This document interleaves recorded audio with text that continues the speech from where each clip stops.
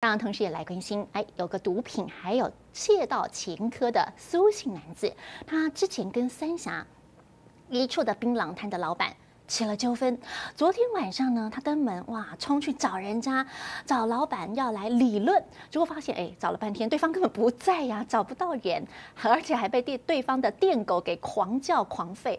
他越想越气耶，居然呢气到直接恐吓人家无辜的店员，还狂踹狗狗，还拿浴场的柴刀挥砍，哐铃哐啷在那边砸店发疯哈。男子事后被捕了，做完笔录返家路上。就遇上了被害店家的友人，好了，这下呢狭路相逢，惨了，反遭七个人围殴打伤。白衣男子拿着柴刀狠砸槟榔摊，把玻璃门通通敲碎，还大喇喇走进店内狠砸。只见店内早已空无一人，因为不久前男子闯进店内，先对恶霸犬店狗叫骂，还频频出脚猛踹，接着恐吓女店员后挥刀砸店，店员吓坏，赶紧逃跑报案。那他打那个狗的时候，我刚开叫，是砸了还是怎么样？我刀就掉在地上啊，就当然就跑啦。他跟他妈妈一起跑啊。这个人就是问说。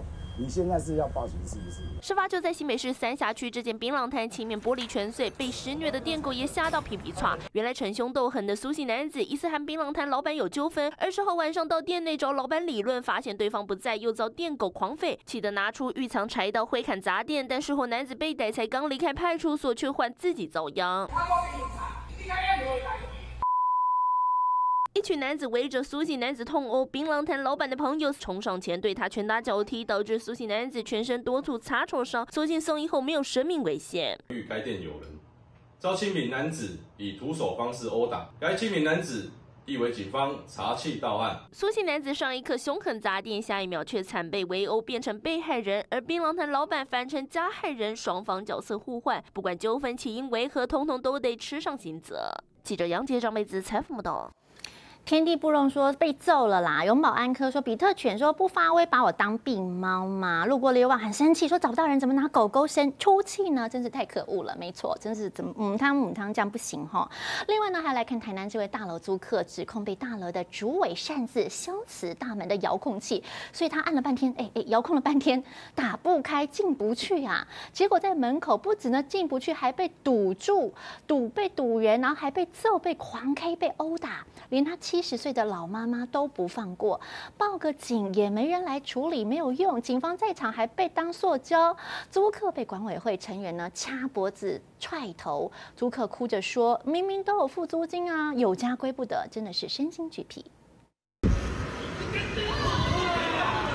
白衣民众冲上前，疑似掐住住户脖子，另外一人再踹一脚，另一边也失控开打。警方仿佛被当塑胶，场面大失控，最后通通被上铐。长期就是比如说用暴力威胁我们啊，或者是有给其他住户就是。年快干啊！其实大家都很怕他们。主委疑似找理由说租客打电梯太多造成故障，擅自将遥控器消磁。租客报警提告强制罪，结果在门口遭堵围殴，质疑主委为了收购房子找租客麻烦。跟房东求助嘛，啊，房东就就驱赶我啊，说是监委监委监委他们不接电话啊，不处理啊，你看。大楼主委电话没接，住户加码爆料，管委会疑似不止率众打人，还怒砸别人的车，手持球棒从挡风玻璃砸出两个大洞。网友傻眼，警察在场还敢动手打人，可以罢免主委吧？台南果然是黑道之都，七十岁也打，真没良心。警方难管家务事，可能要闹大才会管。发生大楼管理问题而进而发生口角纠纷。进而发生打架情势，不少人劝说要住户干脆别住了，快搬家。被打到全身伤，心中阴影挥不去，肯定住的屁屁错。记者赖关章台南报道。行政院消保处啊，连续两年接获了好多好多申诉，都是有关于交友相关的消费纠纷，而且里头告诉大家哦，婚友社占了高达九成哎，这么多。但到底问题为什么这么多呢？其实告诉大家，不是因为介绍对象不够好，反而是因为收费钱呢退费的问题最多争议，金额高达了三十万。追究原因，消保处发现，其实很多的婚友社会联合融资公司，你没钱没关系，你融资一下，邀请会员缴大笔钱来来。入会成为他的会员，但结果呢？这最后付不出钱嘛，就衍生了很很多的纠纷。不少单身男女会选择婚友社作为认识异性方式，但消保处调查结果很惊人，九成以上交友相关消费纠纷来自婚友社。消保处连续两年接获超过三百件消费纠纷，最大宗争议来自会费退款。第二个女生。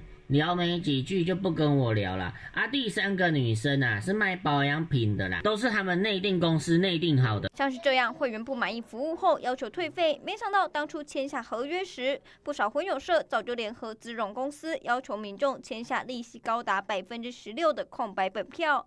统计约有九成以上都是男性受害，争议金额更高达三十万。但是对方跟他说，你只要付一千块定金，你就可以参加我们的联谊活动。可是他已经超过那个审阅期。签约了，然后他会同时有一个陷阱，就是说，比如说他会同时叫你启动所有的服务。追究原因可能是消费者不清楚合约内容。消保处追查发现，十五间婚友社内就有两间婚友社以定型化契约使消费者抛弃审阅期，更有八间直接不提供审阅期，全都不合格。消保法是有规定的，说你如果说不给予审阅期的话，对对哈，那你那个条款是无效。你。其余还有消防监管安全，统计起来十五间，就只有台南一间婚友社统计合格。除了限期改善外，消保处也提醒消费者务必睁大眼睛。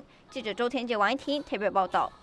好，眼睛要放亮哦，不要被骗钱了。另外还来关心的是，今年二月，这亚运金牌国手陈瑜安在前往义务教学的路上，连人带车摔进了桃园市府污水下水道工程围篱内的工作井中，不幸意外死亡。家属认为桃园市府你们没有善尽公安督导责任，今天委任律师向市府提出国赔，要求五千两百万元的赔偿。目前最新的这个市长呢，张善政就说会请厂商厘清责任归属，如果错在厂。厂商会请他们负责到底。另外，之前中立分局原警队女老师大卫哥这一案件呢，女老师也请律师向中立分局请求两百万元国赔。目前张善政也表示说，警局有国赔审议的机制，会按照程序来送去审核，并不会回避。好，大家一大早上班时间啊，这遭发生了恐怖的意外，你看看，哇，真的好危险！高雄三明区一辆进口轿车驾驶没有注意到路口的号志，已经变成了红灯，闯过去硬闯啊，拦腰撞上绿灯刚起步的两台的 auto bike。那其中一位女骑士不断的旋转一撞，不断的转，撞到了挡风玻璃，然后又滑上了车顶，最后甩飞出去哦，这个好险只受到轻伤，但非常危险。另外在屏东的访寮，两台重机和追逐。骑士往前滚了一大圈，最后呢，坐在地上一路滑行撸过去，这个动作 简直像电影一样，最后居然是完美落地。大马路十字路口直行方向号志变红灯，车辆纷纷停下。偏偏这辆进口轿车继续往前开，左边方向两台机车绿灯刚起步，立刻被轿车拦腰撞上。其中一名女骑士撞到挡风玻璃，身体不断旋转，最后滑上车顶，再被甩飞，重重摔到地上。itu kayak yang cái kayak à? Ya, cái kata tuh 车祸发生在高雄三明区鼎立鼎金路口，八点多上班时间车流量大，好险当时车速不快，女骑士轻伤送医，肇事驾驶知道闯祸了，十分懊恼。绿灯变红灯啊！我买个帅过，我都无注意啊，不是调高啊，啊。